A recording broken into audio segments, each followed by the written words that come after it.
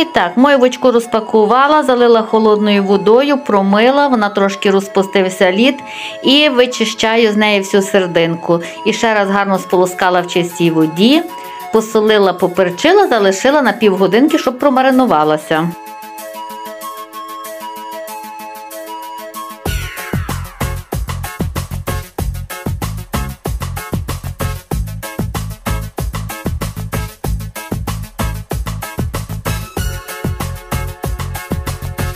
На противень влила трошки олії, рибку обкатала в паніровочних сухарах, виложила гарно на бляшечку і в духовку 180 градусів 20 хвилин і смакота готова.